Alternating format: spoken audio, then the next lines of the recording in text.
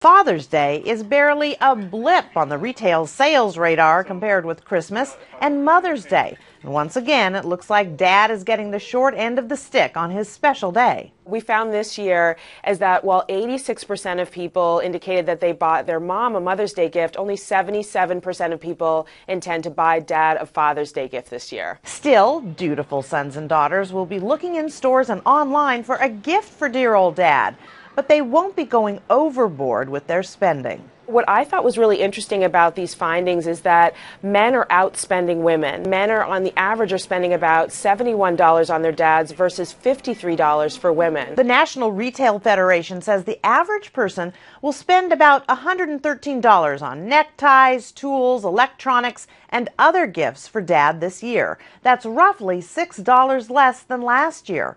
Total spending for the holiday is expected to reach 12.5 billion bucks. RetailMeNot says topping dad's wish list this year gift cards and quality time with the family.